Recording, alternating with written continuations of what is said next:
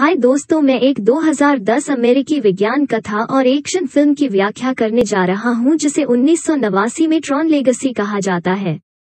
Encom नामक एक प्रौद्योगिकी कंपनी के केवन फ्लिन सीईओ ने अपने बेटे सैम को उनकी कहानी सुनाई ग्रिड में रोमांच ग्रिड एक आभासी वास्तविकता है, जहाँ डिस्क एक शानदार क्षेत्र चक्र में लड़ती है जो रोशनी के रिबन। पर दौड़ती है और वहाँ बहुत सारी चमत्कारी चीज़ें होती हैं। यह केविन द्वारा ट्रॉन और क्लू के साथ बनाई जाती है, जो केविन की अपनी छवि में एक कार्यक्रम प्रतीत होता है। वो धन्यवाद कर सकता है कि सैम अपने पिता की कहानी के बारे में अधिक जानने के लिए उत्सुक है। लेकिन कहा जाता है कि अगली बार प्रतीक्षा करें, क्योंकि केविन काम पर जाने से पहले वो अपने बेटे को कल आर्केड में जाने के लिए आमंत्रित करता है और अचानक एक सिक्का उछालता है। दृश्य कर जाता है केविन के लापता होने के बारे में घटनाओं और समाचारों का एक संग्रह कंपनी में अराजकता पैदा कर रहा है। समाचार उस आय कंपनी के बारे में भी बताता है जो टेक उद्योग के शीर्ष पर पहुँच गई।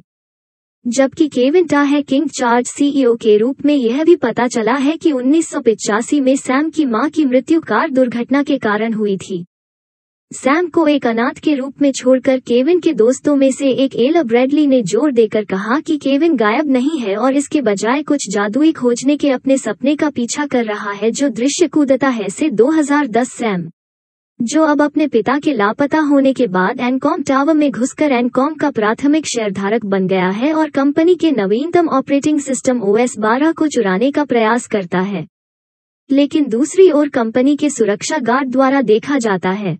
कंपनी के वर्तमान अध्यक्ष रिचर्ड मैके कहते हैं कि ओएस 12 जो पहले मुफ़्त में बेचा जाता था, अब एक पेड सॉफ्टवेयर होगा क्योंकि इसे दुनिया के सबसे सुरक्षित सॉफ्टवेयर में से एक होने का दावा किया जाता है और इसे मुफ़्त में बेचने का कोई कारण नहीं है। सैम एनकॉम सिस्टम में हैक करने का प्रबंधन करता है और ओएस 12 को रिलीज़ करता है। ती द्वारा टावर के शीर्ष पर पीछा किए जाने के बाद माइकल को उग्र बनाने वाली कंपनी के लिए अपने वार्षिक शरारत के हिस्से के रूप में अपनी रिहाई के दिन जनता को मुफ़्त में वो सुरक्षा गार्ड सैम खुद को एनकॉम के सबसे बड़े शेयरधारक के रूप में प्रकट करता है और फिर अपने पैराशूट के साथ टावर से गिरने से मुक्त करने का प्रयास करता है क्योंकि वो अपनी मोटर बाइक तक पहुँचने की कोशिश करता है।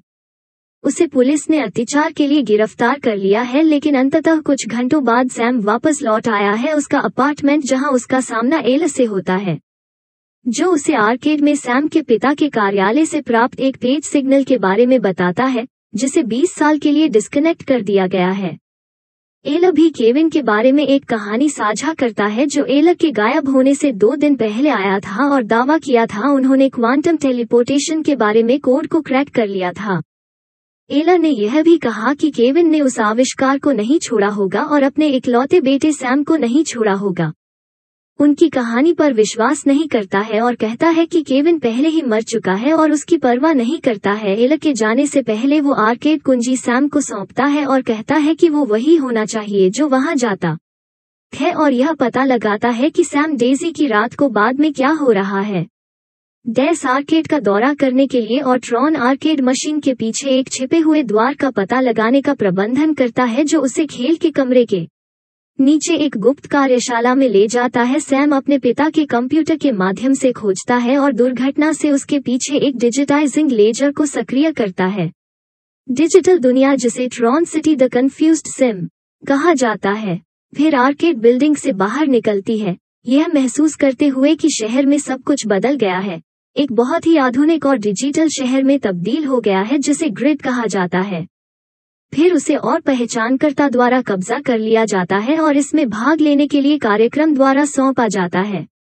अन्य सभी खेलों को ठीक किया जा रहा है। सैम को फिर एक कमरे में ले जाया जाता है, जहाँ वो कवच से लेस होता है और एक पहचान डिस्क जो उसके धारक की हर चीज़ को रिकॉर्ड करता है या सीखता है, उसके बाद उसे डिस्क युद्ध क्षेत्र में पहुँचाया जाता है, जहाँ उसे कई कार्यक्रमों से लड़ना पड़ता है और कई लुभावने झगड़ों के बाद खेल जीतने के लिए खड़े होने वाले अंतिम व्यक्ति होने के लिए उन्हें एक कार्यक्रम का सामना करना पड़ता है। एन एम ड्रिंजला एकमात्र प्रोग्राम है जो फाइनल फाइट में लड़ते समय दो पहचान डिस्क का उपयोग करता है। रिंसला सैम की तुलना में अधिक मज़बूत और अनुभवी फाइटर लगता है क्योंकि वो कार्यक्रम से बहिष्कृत होता है जब रिंसलर अपना अंतिम झटका शुरू करने वाला होता है। तो उसे सैम से रक्त आता हुआ दिखाई देता है। और अचानक उसे एक उपयोगकर्ता के रूप में पहचान लेता है ग्रिड का मालिक जो एक उड़ने वाले जहाज़ से पूरी लड़ाई देख रहा है। लड़ाकू को सैम को उसके पास लाने का आदेश देता है क्योंकि दो मिलते हैं सैम का मानना कि वो अपने पिता से बात कर रहा है। यह महसूस करने से पहले कि यह क्लू है जब वो कहता है कि वह उसके पिता नहीं है।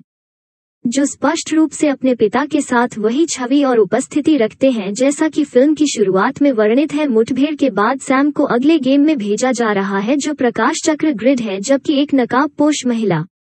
उन्हें देखती है, किसी का ध्यान नहीं गया, आश्चर्यजनक र से उन्हें क्लू द्वारा सीधे चुनौती दी गई, एक टीम के साथ सौंपा गया है, और उनके अनुयायियों को एक फ्यूचरिस्टिक मोटरसाइकिल से लेस किया गया है।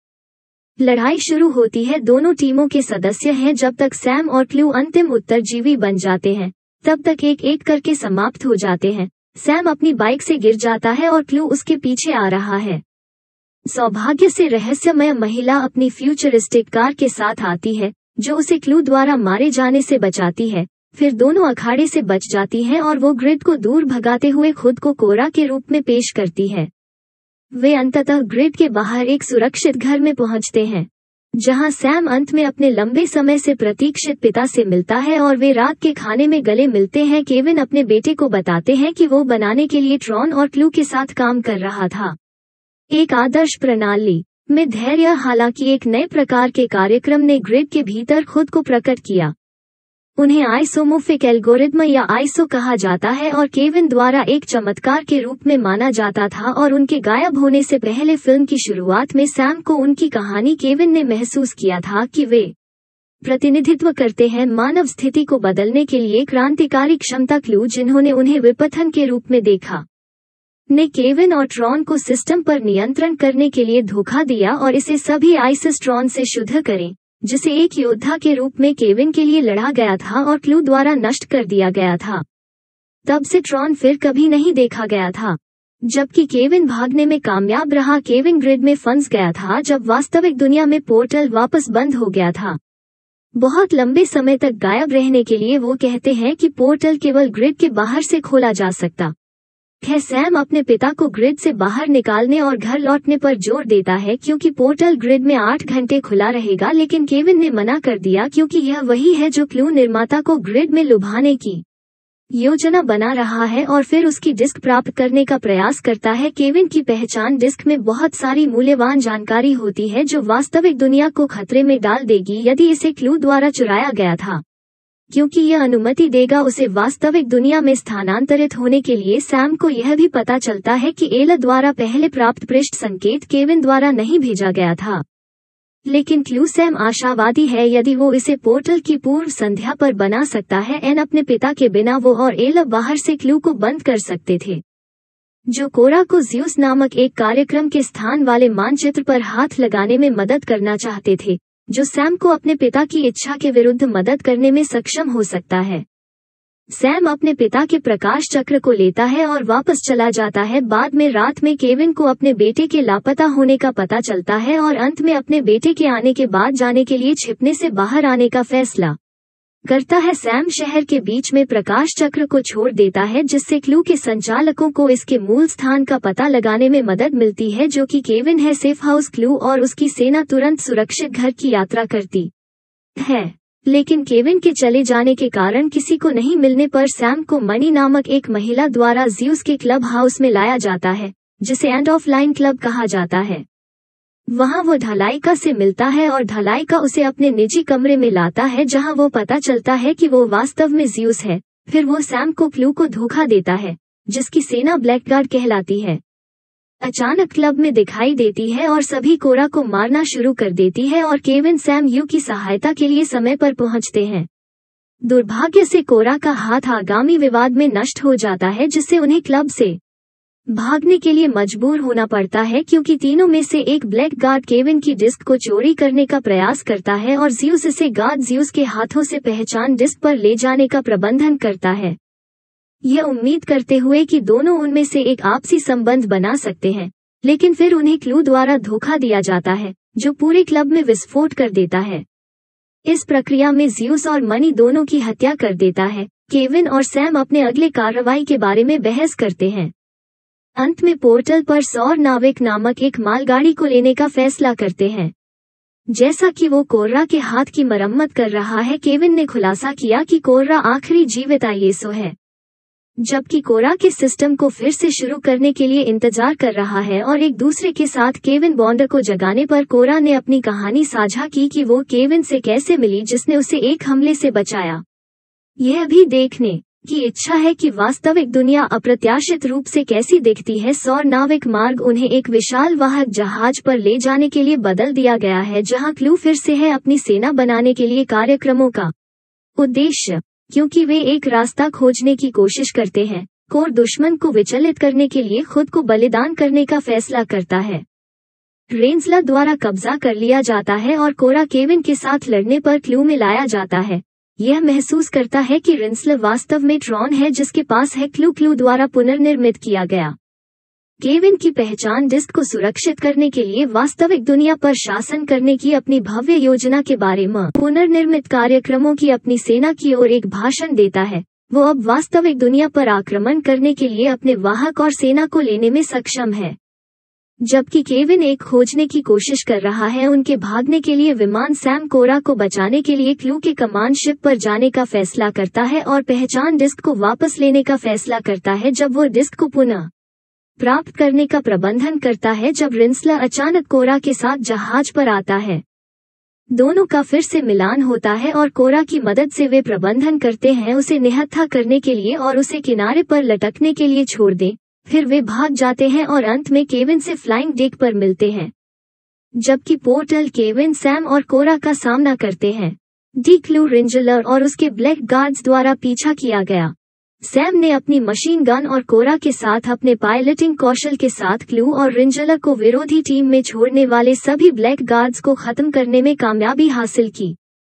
जब केविन रिंसलर के साथ आँख से संपर्क करता है तो वो ट्रॉन के रूप में अपनी यादों को फिर से हासिल करना शुरू कर देता है।